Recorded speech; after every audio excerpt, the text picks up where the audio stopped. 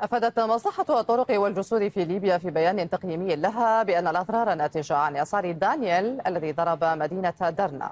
تسببت في انهيار البنية التحتية بالمدينة. وكان انهيار سد درنا قد فاقم من حجم الأضرار. أشارت مصلحة الطرق والجسور في ليبيا إلى أن شبكة الطرق المنهارة تقدر تقريبا بثلاثين كيلومترا. كما تضررت الجسور المقامة عند مجرى الوادي بالكامل. وهي جسر وادي الناقة وعبارة وادي الحسنى وعبارة وادي المطبع جسر الأيرلندي الوادي. أضاف نفس البيان أن المساحة التقديرية المتضررة بجوار الوادي تقدر بتسعين هكتارا. بالإضافة إلى تضرر طريق الساحلي على مساحة 50 كيلومترا غرب درنا وطريق الساحلي على مساحة 60 كيلومترا باتجاه سوسة. بينما بقي طريق الظاهرة الحمراء الطريق الوحيد المفتوح لاستخدام حركة المرور.